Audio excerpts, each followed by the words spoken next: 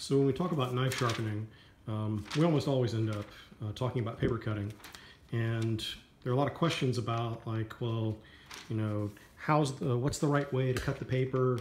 Um, I see people cutting it like this at an angle, and that's real easy. Uh, but then I cut it the other way at an angle, and it does funny stuff, like it's doing right now. Uh, this is a really sharp knife. Uh, this scores about a 125 on the BESS scale, uh, so significantly sharper than a brand new um, utility razor blade from Home Depot or something. Um, yet you could see it tore that piece of paper when I went too fast. That's because A, this is extremely flimsy phone book paper. It's the, the cheapest stuff. And the other thing is there's a grain to the paper. You know, and the grain runs something like, like this direction on this paper. So I'm cutting against the grain when I go this way, and it's more challenging. Um, it's also more challenging to do straight push cuts, and it's really challenging to do them at exactly 90 degrees. What do I mean by exactly 90 degrees? So you saw me make some 45 degree cuts. If I don't tilt the knife that way, and I cut this way, this is more like 90 degrees. But if you're paying attention, you'll notice that I actually tilted the knife down, so I'm not 90 degrees to it in that direction. So let's get it in two 90s and deliberately get it off on another 90, well, off on another 45. And again, it's pretty easy to do.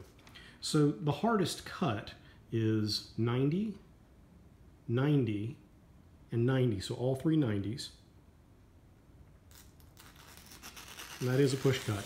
Now I'm going with the grain on this flimsy paper here. Against the grain, uh, this is much harder to do. I can, I can do almost any of the non-90 degree cuts as push cuts.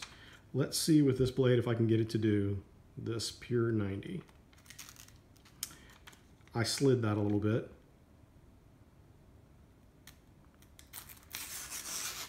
I don't consider that to be successful. Uh, let's try one more time.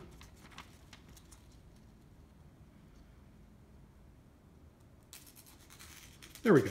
I got it to do it. I think the blade is just a smidge sharper here than it is here in the mid-range, even though it did score 125 here and here and 135 here.